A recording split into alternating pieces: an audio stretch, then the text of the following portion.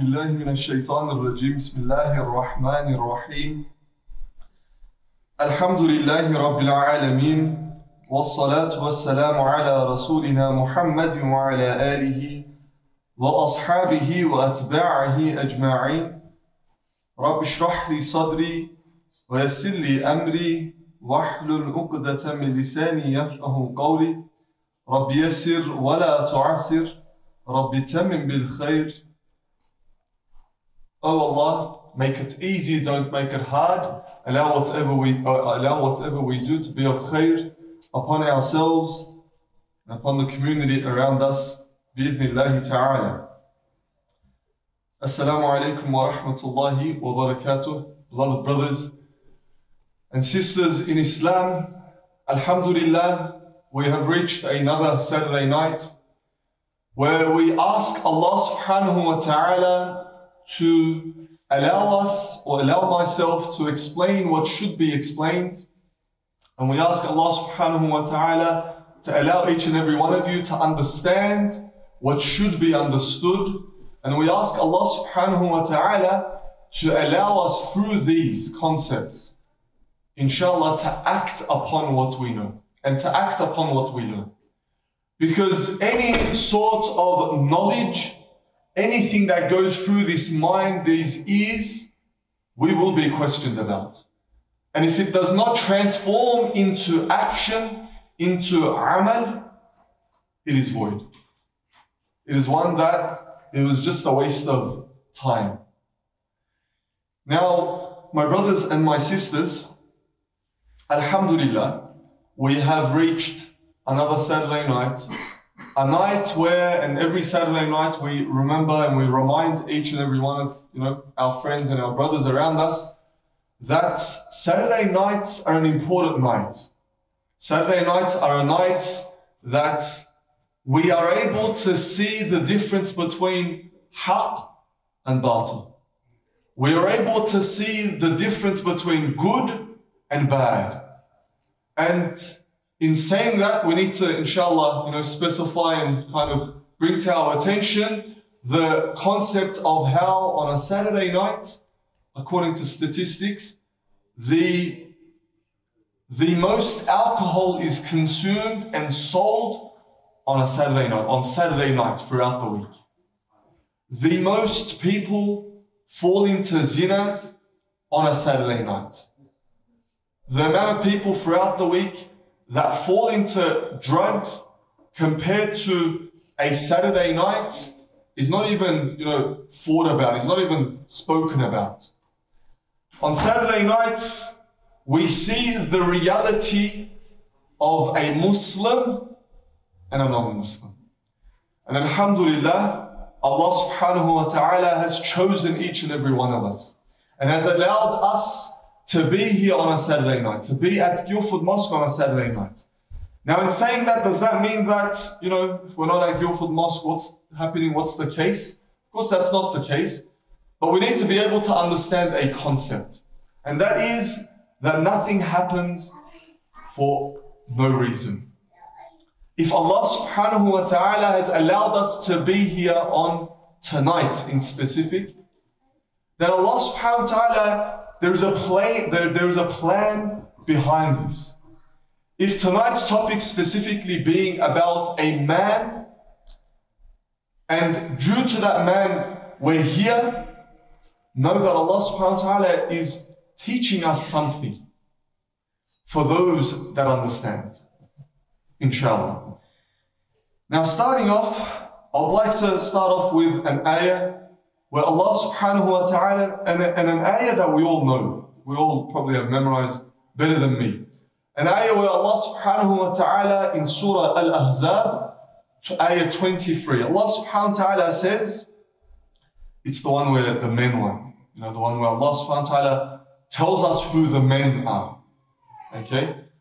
Allah subhanahu wa ta'ala says, among the believers are men who were true to their promise to Allah. Among the believers, there are men that are true to the promise that they've given to Allah. Some of them have fulfilled their promise, in brackets, by dying, and some of them are still waiting. And at the end, Allah subhanahu wa ta'ala says, and they have not changed in the least. They're still working hard and waiting for that moment. Now, in this ayah, we need to first be able to unpack this ayah before this whole series. Because Alhamdulillah, we are starting a series called Leaders of the Ummah series. This, you know, Leaders of the Ummah series, for some of us might come as something strange. It might come to us as, why are we going through random individuals, random people that are on this poster, when we have the best of examples, Rasulullah. Why is there any kalam? Why is there any speech other than the speech of Allah subhanahu wa ta'ala? But in saying that, we need to be able to understand this ayah and inshallah be able to understand the example I'm going to give. And that's going to allow us to understand this five week series that we are inshallah embarking on, this journey that we're embarking on. Allah subhanahu wa ta'ala in this ayah explains to us that there is believers, Muslims, but in and amongst them, Allah subhanahu wa ta'ala makes a specific category and says that there are men amongst the believers. Not everyone, not every believer is a man or a woman, but amongst them there are men and women. And Allah subhanahu wa ta'ala gives the prerequisite for a man and a woman. Doesn't matter what age, Allah subhanahu wa ta'ala doesn't specify age. Allah subhanahu wa ta'ala specifies an action, a concept. Allah subhanahu wa ta'ala says, they are those that keep their promise to Allah subhanahu wa ta'ala. In saying this, in talking about keeping your promise to Allah subhanahu wa ta'ala, it is without a doubt the promise of worshipping Allah subhanahu wa ta'ala. And in saying that, at the beginning of the lecture, we did say that any knowledge that does not transform into action, that does not transform into amal, that does not get these limbs into action, is void. And hence, there was the second kind of category that Allah subhanahu wa ta'ala opens up and says, and there are those other people that are still living, and inshallah they have not changed at all. And we ask Allah subhanahu wa ta'ala to be of those that are classified as a man and a woman according to Allah subhanahu wa ta'ala. And in accordance to that, as Allah says, they have not changed the least. In saying that, and before we get into our lecture for tonight, just inshallah trying to unpack the concept of the leaders of the Ummah series. It's one of a kind, we have to say that. It's probably the first of ever kind of a series that I've ever heard in Australia. A series where, and Jim is like, it's not, but a series where, especially in regards to these individuals, because, you know, if you've seen the poster, there are, you know, individuals from Bosnia, individuals from Turkey, from all different parts of the world. But I have to say there's one thing in specific, one thing that brings them all together. And we'll speak about that inshallah throughout the lecture. Before I continue on about the le uh, leaders of the Ummah series, let's think about a slingshot. Now, when we're thinking about and imagining a slingshot, we need to be able to, inshallah, bring to our minds that you know, a slingshot, you know, I'll show it with my hand for those that don't know. You know, you'll have kind of the sling, or the sling is mainly the thing, and just those two barks or two kind of wooden pieces. And however further you would like to send this, you know, rock or whatever you would like to do, whatever you would like to send the other way, you need to be able to pull this. However back you pull it, that's how far this shot will go. And in saying that, we need to be able to understand that the individuals that we are going through tonight and for the next four weeks have all passed away. A lot of them, about you know, 10, 20, some 40 years ago.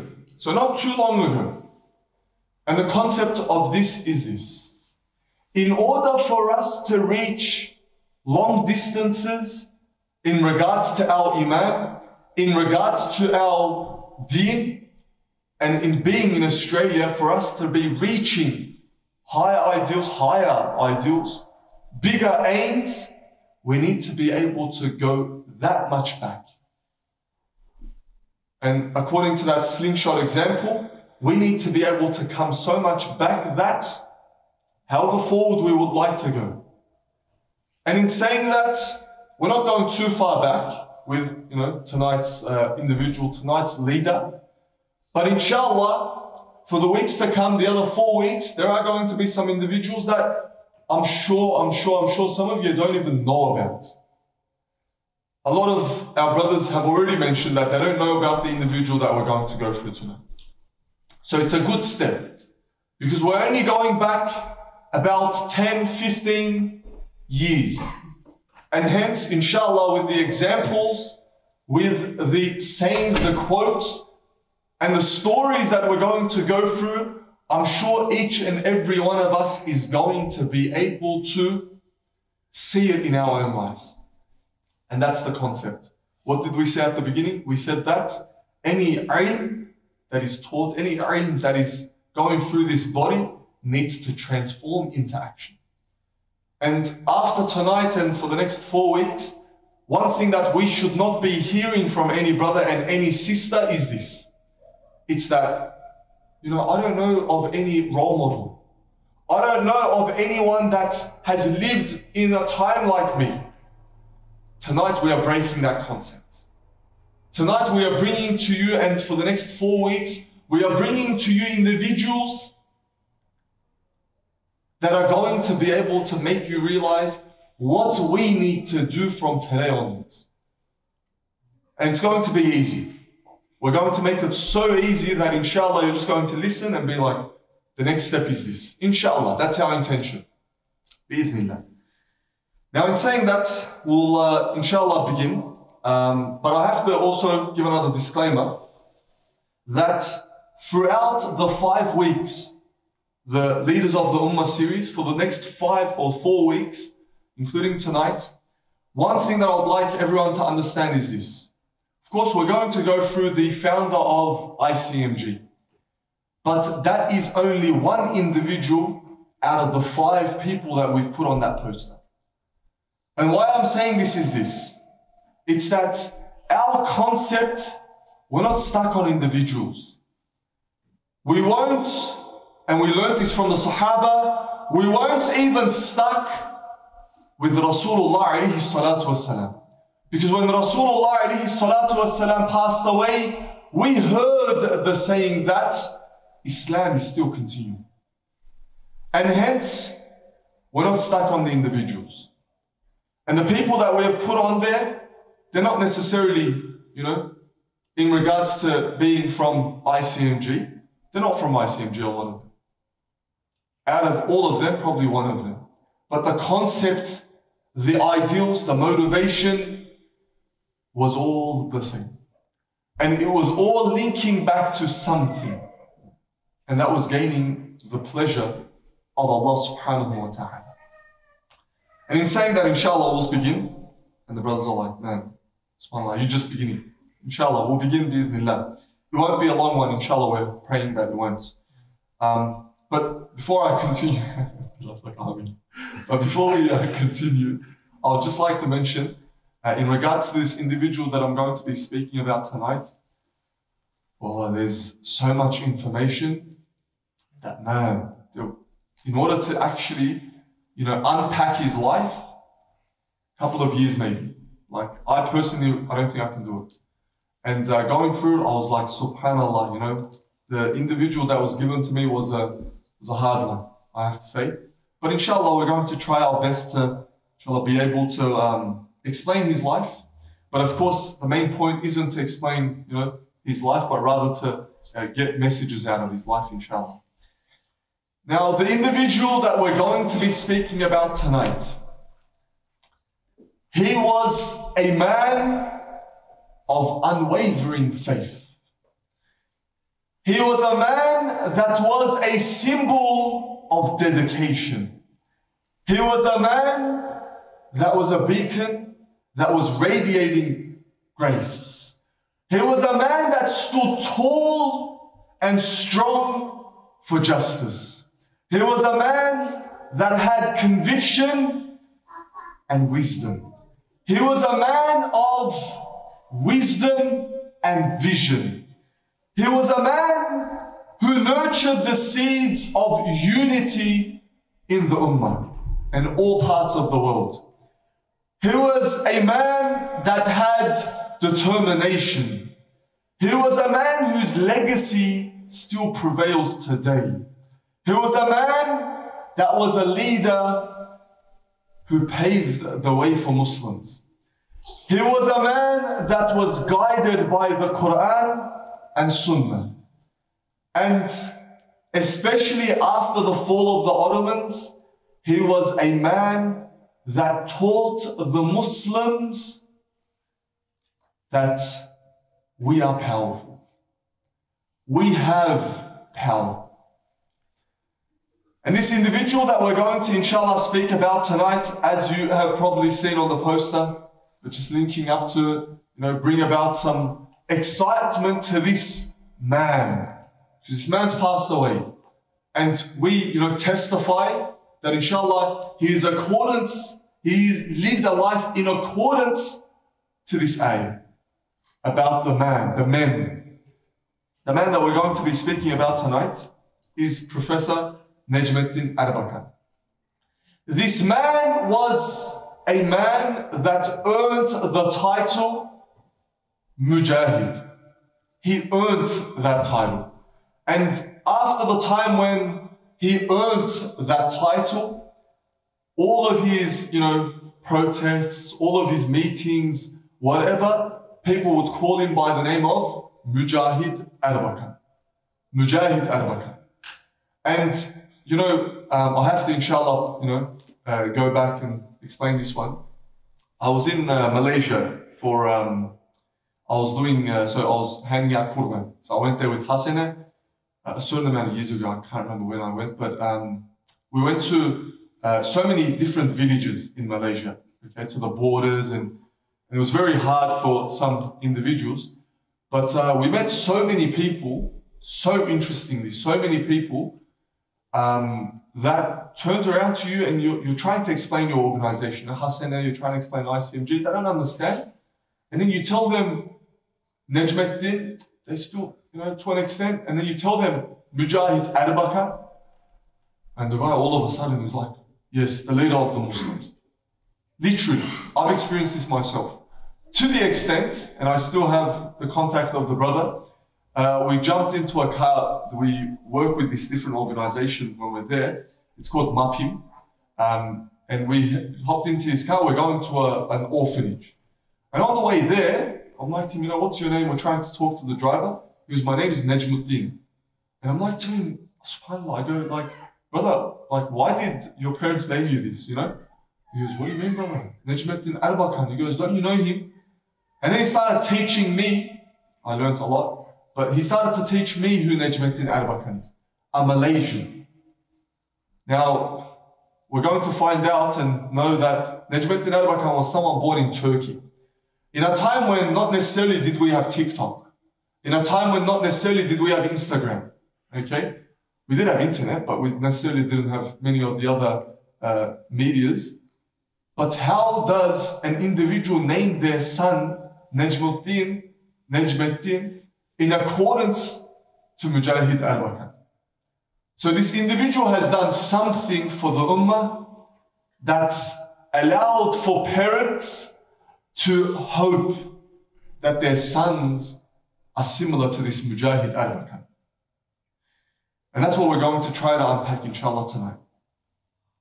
Now, you know, talking about the life of Nejmuddin Erbakan, Professor Nejmuddin Erbakan, you know, let's go through what Google first says, and then inshallah we'll, uh, you know, unpack his life, and then bi'idhnillah we'll go through some of his uh, quotes, and inshallah we'll end it off like that, bi'idhnillah. So Necmettin Erbakan, Professor Necmettin Erbakan, was born in Sinop in Turkey. Uh, he obtained his engineering degree uh, in a university in Istanbul and pursued his postgraduate studies in Germany and Switzerland. Professor Erbakan was a, and this is literally, and this is Google, says that he was an distinguished Islamic scholar.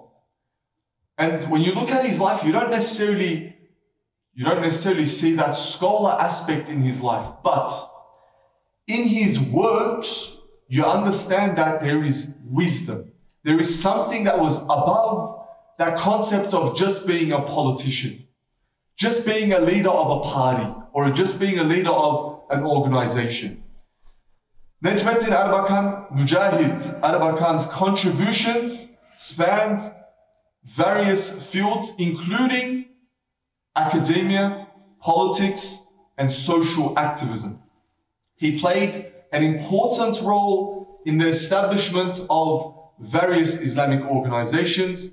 And, uh, you know, in saying that, we need to mention, you know, ICMG, IGMG, there's many other, but inshallah we'll name a couple of them. IHH, IHA, um, you know, Cansuyu. There's so many other that's in Turkey. And I have to make mention of this. When you go to Turkey, when you go to Turkey and you speak to individuals, if they are people that are a bit older, okay, they're people that aren't necessarily, or they're older than the 30 to maybe older than the 40 mark, and they are strong Muslims that had a concern. You speak to individuals like this in Turkey, you are sure to know that that individual will be a part of an organization that, yes, Necmettin Erbakan formed, or yes, Necmettin Erbakan had an impact on. 100%. And you see this throughout Australia as well, where individuals come and you speak to them and you know you realize that yes, Necmettin Erbakan also had an impact on this individual, that individual. And you'll be able to realize that throughout even, even politics as well. Moving forward, he played an important role, as we said, for many different organizations, but many different parties as well. And then, you know, moving on from there, he had an impact on the Muslim community, etc.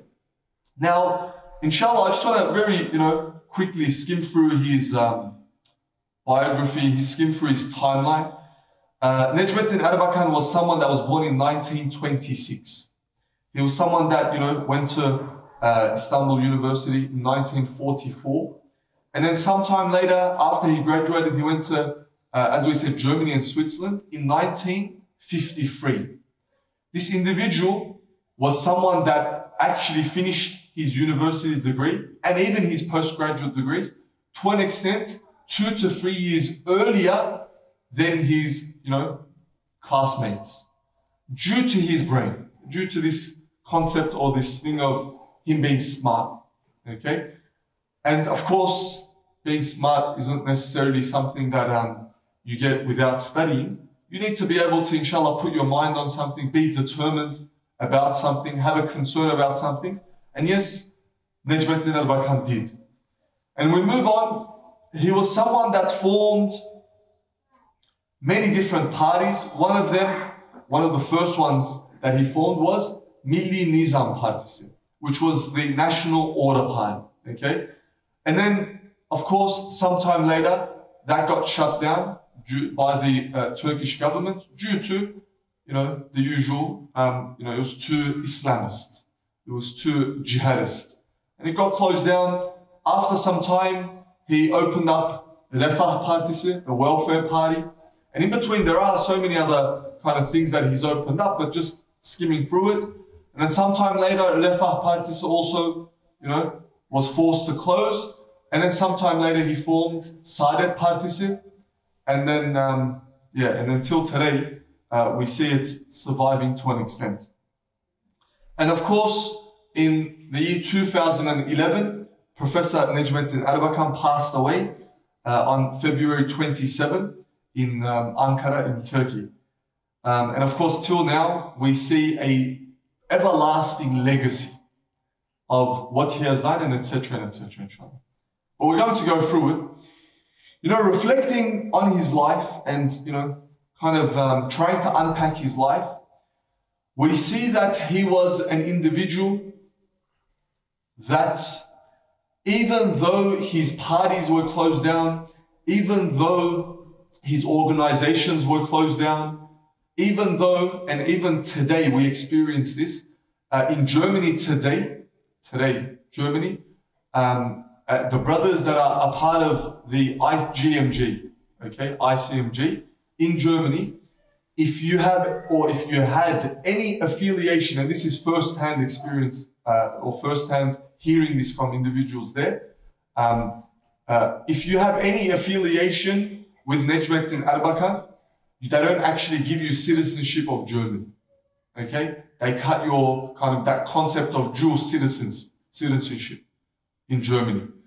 At the same time, with this concept, um, I need to make mention of, and inshallah, maybe we'll send him and we'll make dua for him as well. Uh, our brother Selçuk Çiçek. So this brother, he works at the headquarters, a very close brother that um, I have to myself. Uh, and he explained to me years back, I was in Turkey studying, and he was like to me, he goes, I at the moment, he was a history teacher at that time. He goes, I at the moment can't work as a history teacher just because my name was on the membership list of Erbakan Hoca's party. And he goes, now today I can't work in Germany, anywhere in Germany, um, as anything, let alone being a history teacher.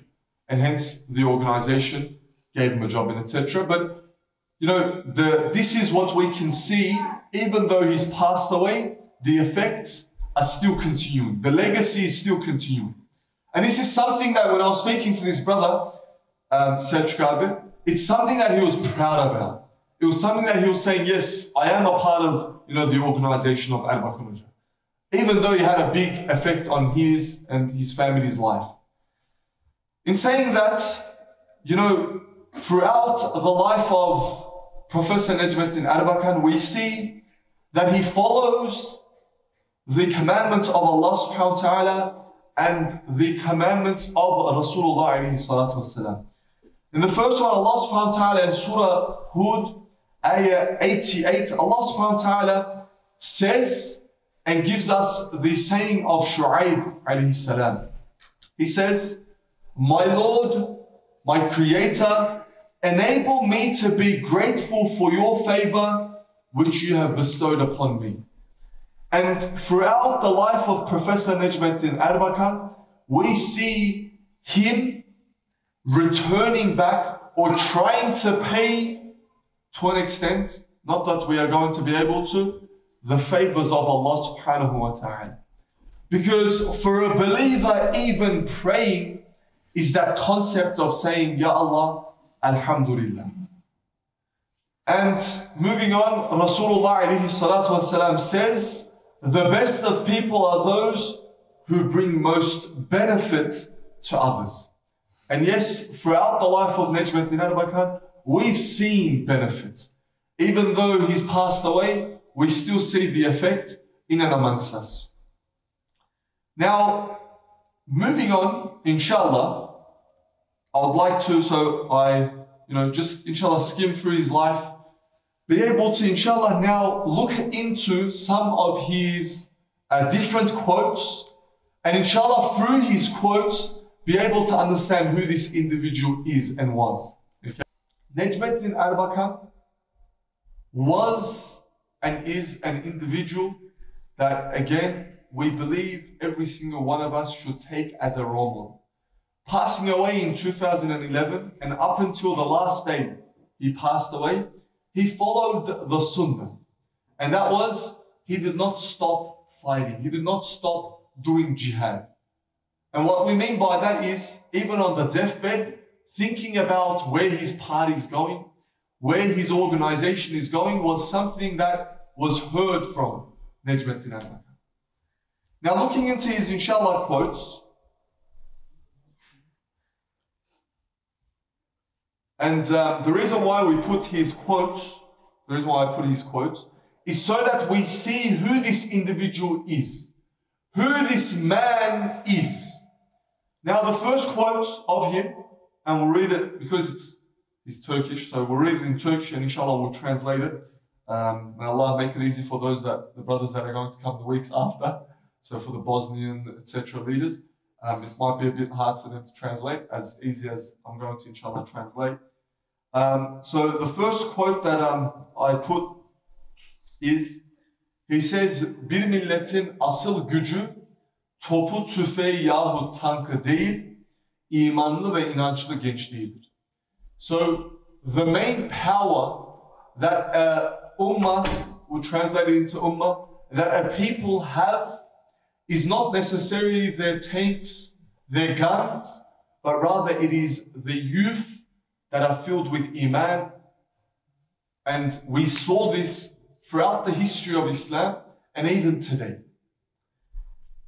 Moving on, Professor Necmettin Erbakan says, haksız bir davada zirve olmaktansa hak davada zerre olmayı tercih ederim. Professor Dr. Necmettin Erbakan teaches us a concept that instead of being the highest position or to have the highest post in a da'wah that is batil, in a da'wah that is wrong, I would rather have the smallest, the lowest role in a da'wah that is haq. And we've seen this throughout his life. And we too need to apply this into our lives. That whatever role is given to us, it might seem as something wrong, it might seem as something small, but we need to know if it's on the path to haq, if it's on the path to serving Allah subhanahu wa ta'ala, then you know what? Let it be.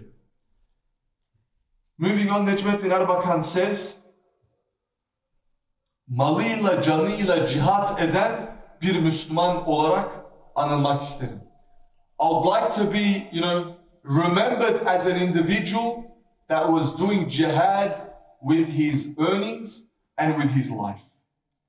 And yes, Alhamdulillah, the dua that he had, we remember it today. And we know that, and at the beginning of it, I personally am a witness to the you know, jihad that Necmettin Erbakan has done. Moving on, he says, and this one's an interesting one. I'll just quickly translate it without reading the Turkish. We won't flex my uh, awesome Turkishness. But um, he says that Muslims that do not care about politics will be governed by politicians that don't care about Muslims. Muslims that do not care about politics will be governed by politicians that do not care about Muslims. My brothers and my sisters. Now, for years and years, we've always been told that politics is something that we need to stay away from. And you know what, Sah? I agree. To an extent, we need to pull away from politics. But in today's, you know, circumstance, and even throughout the you know elections that we just overcame in Turkey, we saw one thing that the non-Muslim, uh, the, the, the non-Turkish Muslims started to get up and aware people, you know, warn people against the tide that, that is coming. And we then realized that yes, you know, even though we are against that concept of politics and we're only for Sharia in today's system, especially in, you know, if we're looking at Australia, if we're looking at, you know, Turkey, etc., we need to be able to understand that, play it for the time, play it by the rules. And hence, if we are to act like we don't care about the politics of our council, if we act like we don't care about the politics of our, you know, states, of our country know that, and that's what we're experiencing today with the LGBT and etc. We're literally experiencing that. You know, we didn't care about if Labour or Liberal is coming into power. We didn't care about it to an extent. Some of us didn't even vote and etc. But then we came to the reality that yes, right now we're getting policies that are being, you know, thrown at us in regards to LGBT and whatever they are, that we actually can't, we can't actually say no to. We can't actually stop. Even to the extent of, and mark the words here, that sooner or later they're going to come into Muslim schools in with this concept. And why is all of this happening to an extent? It's because there are Muslims that don't care about what's around them, and hence there are people around them that don't care about them.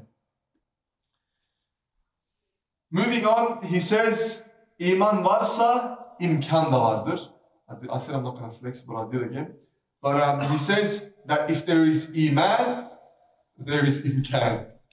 If there is iman, there is always possibilities. There is always that power to for anything to be done. And then he explains as someone that is a part of Milli Görüş, someone that is a part of ICMG, must never ever give up. And he's shown us this, and we've, we inshallah need to apply this as well.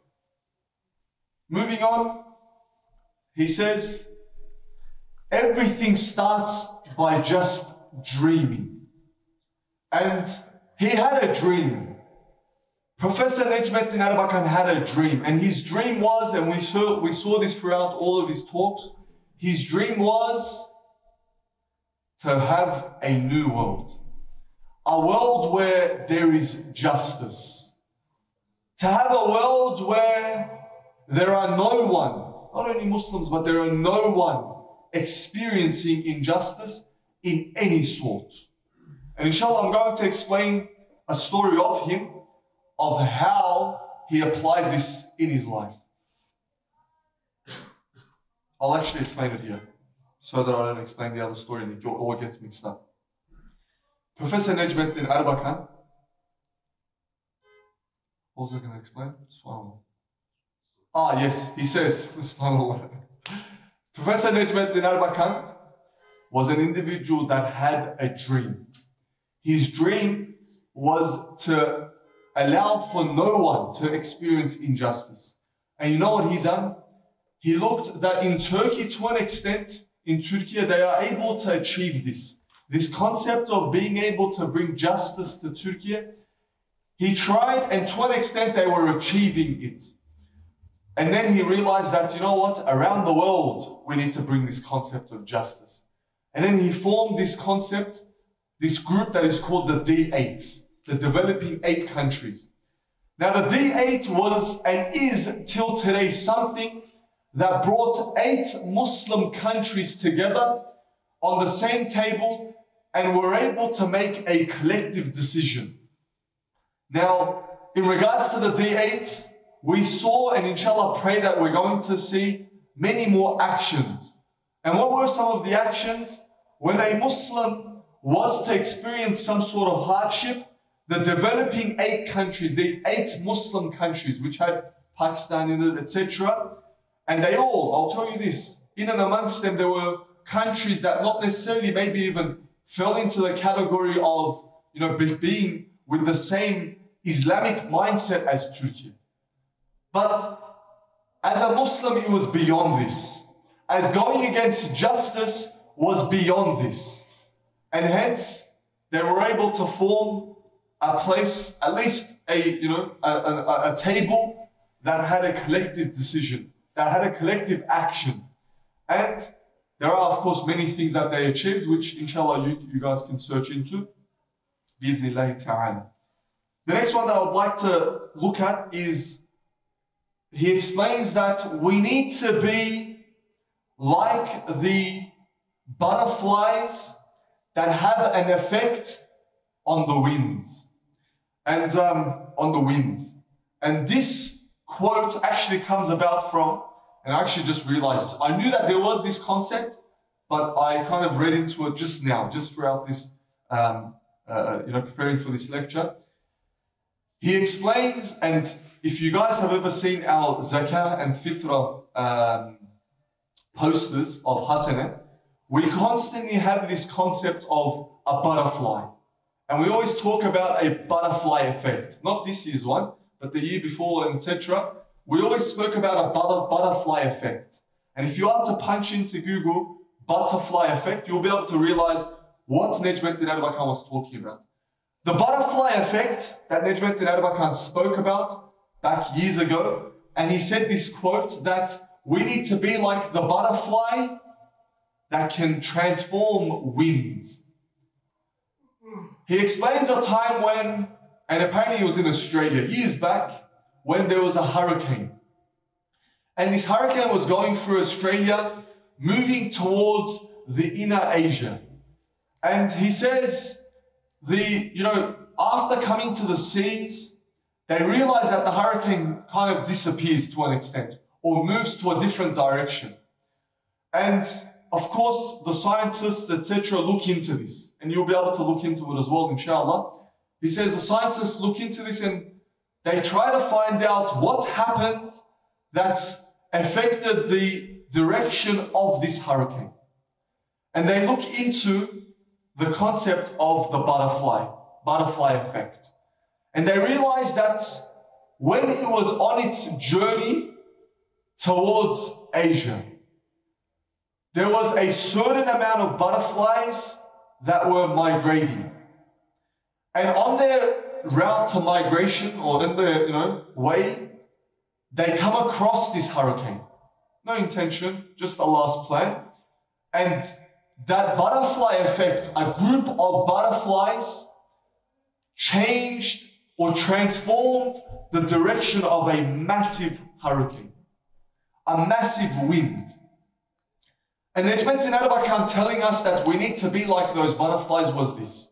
It was that even though there are going to be hurricanes around us, LGBTQ, etc., even though there are going to be winds that come strong to us, you know, atheism, etc., even though there are going to be winds that hit us hard in regards to drugs and alcohol, we need to have that butterfly effect.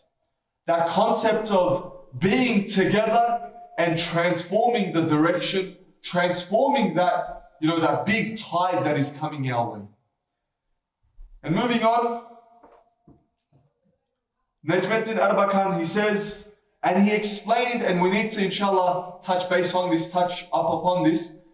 He explained to the Muslims who the Zionists are. He explains who the Zionists are.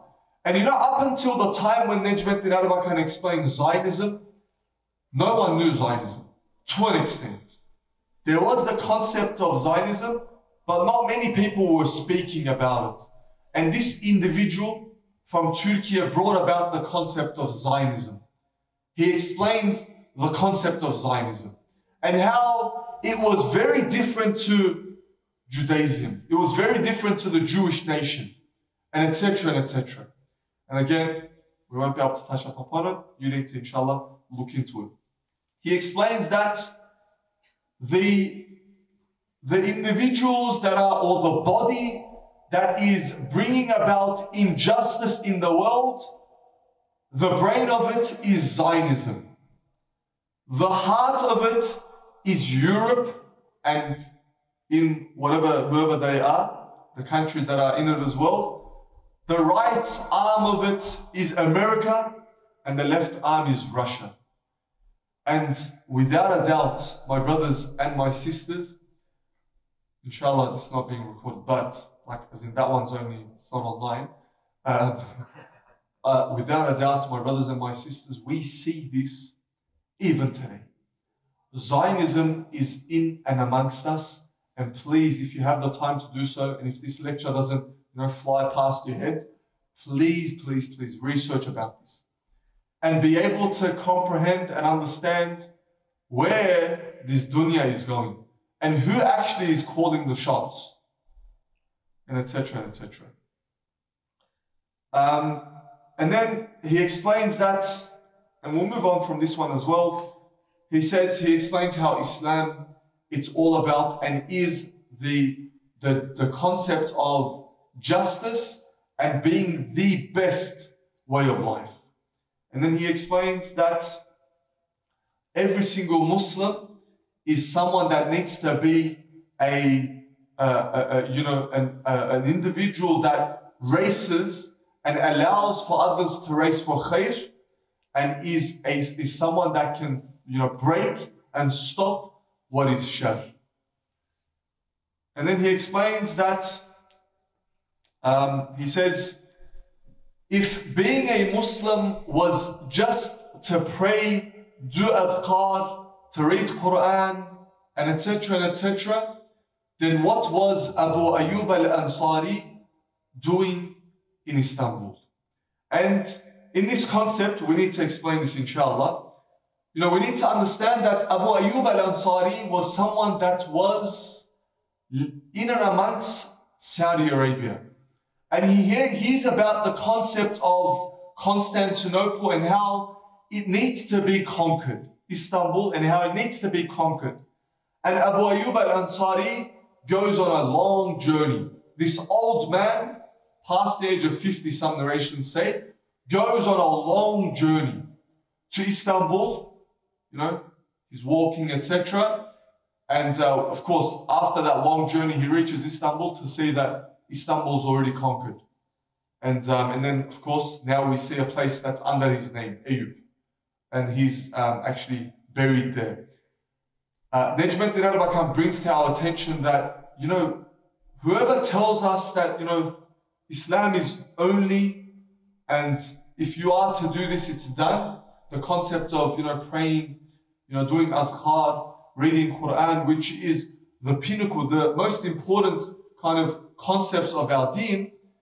But then there is the concept that, as we said at the beginning, that needs to transform into action, that needs to transform into amal.